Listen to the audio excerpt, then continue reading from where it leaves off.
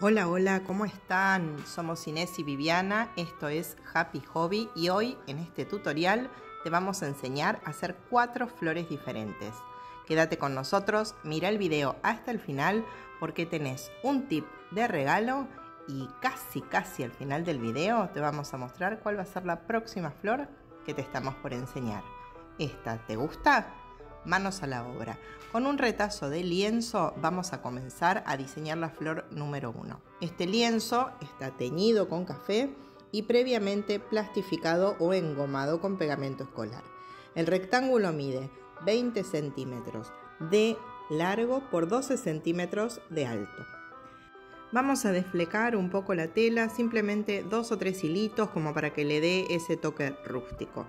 Te contamos que para esta flor vamos a utilizar un palito o ramita seca y algún hilo de yute o cordón que vos tengas para atar. También vamos a utilizar la pistola de silicona caliente.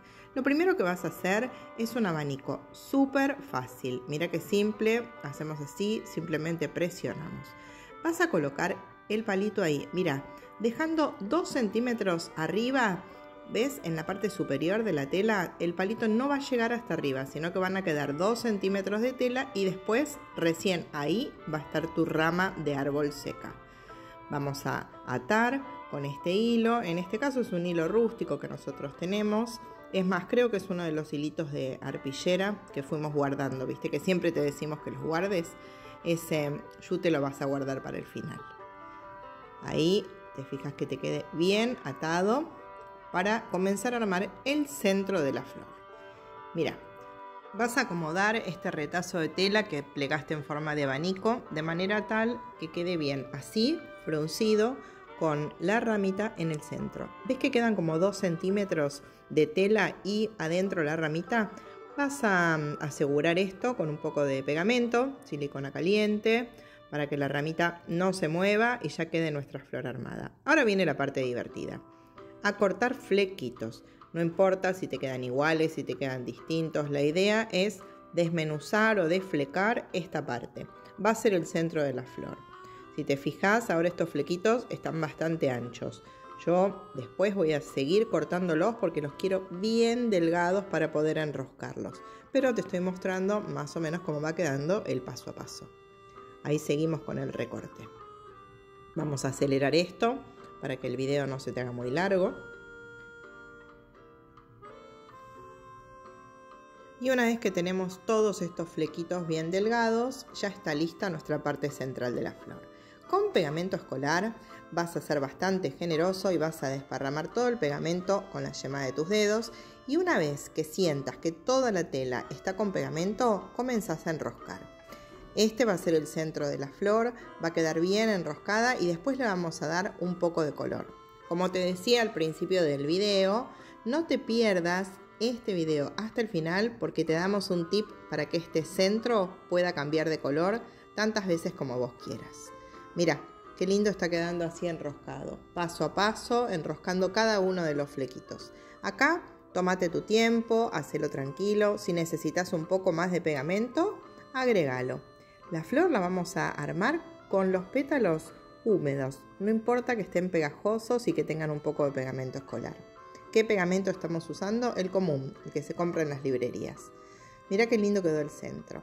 Acá viene el primer truco. Un poco de agua, un poco de café, sí, café, el que utilizamos para tomar, el que se disuelve granulado, este, no vamos a decir marca, simplemente una cucharita como para disolver y ahora vamos a humectar estas puntas. Este es el primer toque de color que le vamos a dar. Como te contábamos, el lienzo lo teñimos con café. De tal manera nos va a quedar dentro de la misma gama. Pero al final del video te vamos a mostrar cómo hacemos para darle un tono rojizo. Lo vas a dejar un rato, mojas estas puntitas que todavía están pegoteadas con el pegamento escolar. Sacamos el café, vas a escurrir no tires esta servilleta porque también después la podés usar para hacer una flor. Ya tenemos listo nuestro centro. Mira qué lindo que queda. Saco el café. Voy a dejar esto por acá reposando mientras te cuento cómo vamos a seguir ahora el armado de esta flor. Guarda la servilleta, como te contaba, mira qué lindos tonos. Ahí tenemos los rulos que forman el centro de la flor. Con el extremo de la tela vamos a hacer los pétalos. Simplemente los vas a girar hacia arriba y vamos a cerrar ahí armando una especie de embudo. Vas a poner pegamento ahí uniendo estos dos extremos y si no te quedaron a la misma altura, vamos a cortar el excedente. Fíjate que yo ahora te muestro cómo lo haces. Es muy fácil. Un poco de silicona, voy a tomar ahí bien del centro para que no me quede abierta ninguna parte. Mira qué lindo, qué lindo pimpollo ya se está formando. Esta flor es preciosa. Corto el excedente y ahora cuando la dé vuelta te voy a mostrar que ya tengo armada mi primera flor. Como te contábamos, con un mismo procedimiento vas a ver que podés hacer cuatro flores diferentes. Esta quedó preciosa, aunque aún todavía no está terminada. Sí, como siempre te decimos, parece que está lista, pero no. Mira, acá abajo falta una terminación. Y ahora te mostramos cómo la podés hacer. Simplemente haciendo un poco de presión ahí con la yema de tus dedos y atás, das una vuelta con el hilo o el violín. Me preguntaban otra vez a qué le llamábamos violín. Al hilo de algodón, ese que se utiliza en las roticerías para envolver los paquetes. Podés utilizar cualquier tipo de hilo acá. Nosotros estamos usando hilo de yute porque como se ve, queremos que sea del mismo tono que la flor. Vas a hacer un nudo con todas tus fuerzas para que no se desate y además de haber hecho este nudito, lo vamos a pegar para estar completamente seguros de que esta flor no se va a desarmar. Cortas el excedente y ahora sí, mira, esta es divina, divina, es un pimpollo muy fácil de hacer. Simplemente cortamos un extremo y dimos vuelta al otro y mira qué linda flor te queda. Pero no nos vamos a quedar conformes con esta flor solamente. Lo que estamos haciendo es mostrarte cómo dejando volar tu imaginación, esta flor se puede transformar en otra completamente diferente. Le vamos a dar un segundo y le vamos a sacar unas cuantas fotos para que vos después elijas cuál de todas las flores es la que más te gusta.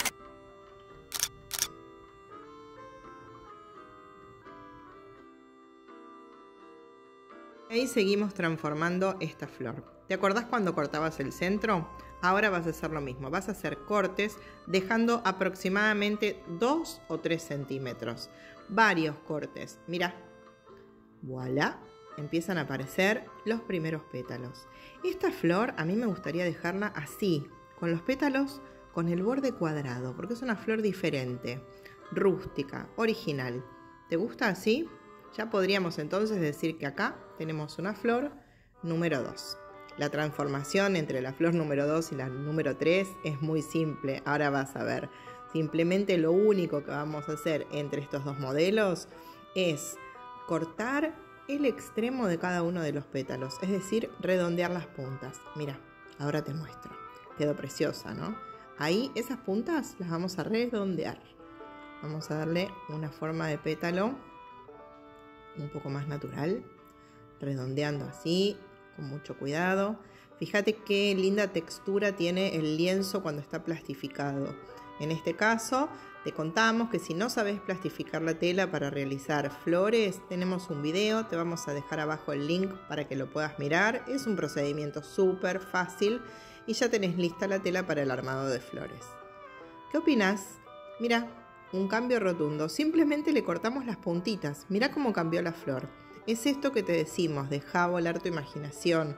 Con los mismos materiales podés hacer un montón de flores distintas. Le sacamos una foto, la bautizamos, le ponemos flor número 3 y ahora te contamos cómo vamos a hacer la flor número 4, que simplemente es seguir recortando cada vez más. Mira qué linda que queda junto a esta. La flor de la izquierda está hecha en papel y está en lienzo. Queda muy bien cuando combinamos las dos. Ahora vas a tomar la tijera y esta vez vas a hacer cortes irregulares. Ahora yo voy a acercar un poco la cámara para que vos los puedas ver de cerca. Sin preocuparte en la distancia, en la altura, si un corte queda igual al otro. Vas a ir haciendo pequeños cortecitos, tajitos. Fíjate, ahí te lo voy a mostrar de cerca. Verá que termino con este corte y acerco la cámara para que veas bien cómo queda. Ahí. ¿Ves? apenitas, como si estuviera cortando piquitos. Van a quedar flecos similares a los del interior, pero estos no los vamos a enroscar. Y tienen un tono diferente, porque acordate que los del centro los habíamos manchado con café. Quedan más oscuros los del interior y más claritos los del exterior. Mira, ¿no es hermosa esta flor? Si te gusta cerrada, la podés dejar así. Pero a nosotras nos gusta más un poquito abierta. Mira, vamos a abrirla, te la voy a mostrar. Ya tenemos la flor número 4 y como te habíamos prometido, al final del video te íbamos a dar un tip. ¿Te acordás que teñimos el centro con café? Bueno, nosotros esta flor la vamos a poner en un ramo y tiene que combinar con tonos rosados. Entonces, acá te mostramos cómo hacemos para que ese centro que estaba teñido de color café se teñía de rosa. Agua, un poco de papel crepe. Recordá que el papel crepe enseguida se destiñe y decolora el agua. Y vamos a hacer lo mismo que hicimos con el café. Esta vez vamos a sumergir toda la flor. Se van a ir tiñendo los pétalos y el centro. Vos no vas a notar ahora una gran diferencia porque esta tela está engomada. Por ese motivo no absorbe mucho, mucho el color. Pero ahora te vamos a mostrar cómo hacer para lograr que el centro quede más teñido aún. Mira, qué sutil ese rosa, realmente precioso. Va cambiando la tonalidad de la flor con un simple detalle. Fíjate cómo vos podés cambiar.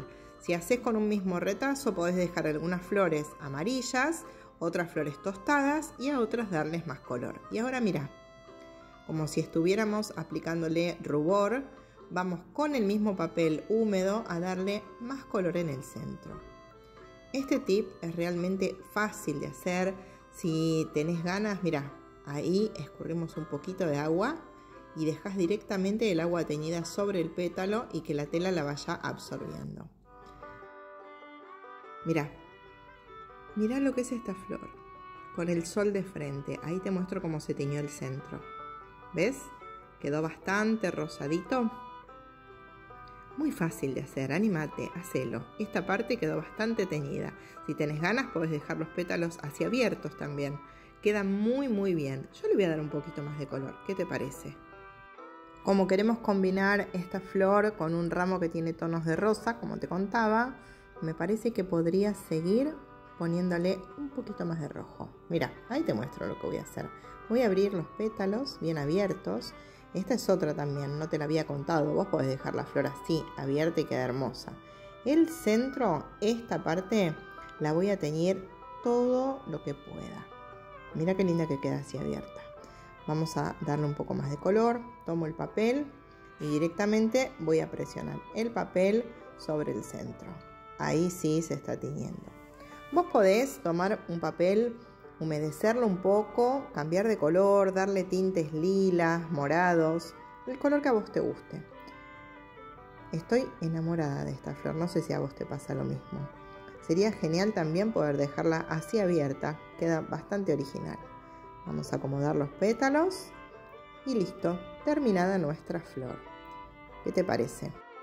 Bueno, no sé si realmente este proyecto te gustó tanto como nosotros. Nos parece una flor muy fácil de hacer, realmente original y además sumamente económica. Como siempre te decimos, tenés que dejar volar tu creatividad y tu imaginación que puedes hacer cosas realmente bellas. Te agradecemos por haberte quedado hasta este momento. Pero no te vayas, porque en un ratito más, al final del video, vas a ver cuál es la próxima flor que te vamos a enseñar a hacer en Happy Hobby. Somos Inés y Viviana. Si todavía no te suscribiste a nuestro canal, hacelo. ¿Qué esperás?